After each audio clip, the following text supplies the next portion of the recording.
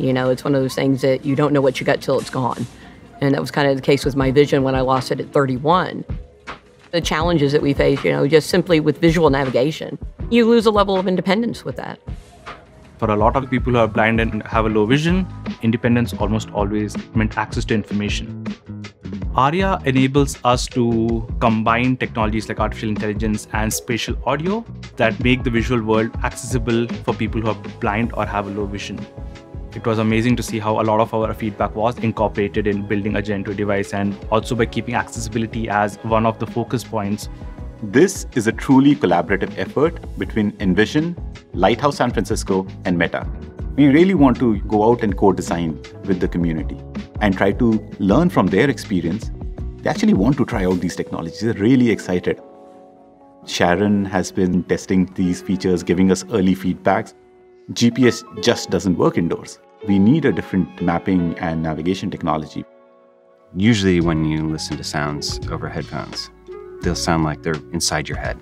Spatial audio is a technology that lets you play sounds over headphones that seem like they're coming from a real location out in the world. And all you have to do is follow that sound. You put the glasses on and you just talk to it like you talk to a friend. Hey, Meta, help me pick up some apples. Certainly. Follow the sound to locate the apples in the store. It'll start playing a beacon sound from the location within the store. The glasses can actually map as they are being used. We can allocate different points and label it with items that should be there in that space. Apples are here. You can ask any kind of a question. What apples are here? They have Granny Smith, Cosmic Crisp, and Honey Crisp apples. I'll get Granny Smith apples. Help me pick up red onions. Taking you to Red Onions.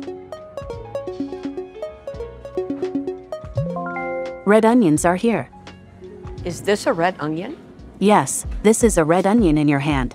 Just to have the freedom to walk into a grocery store and navigate to what I wanted, it was efficient, it was fast, it was just amazing. That's all I need today. Take me to the checkout counter? Sure, guiding you to the checkout. This isn't ready to ship out the door this second. But what's exciting is for how many people this appears to be working really well. Without these partners, we would have not been able to do what we did today.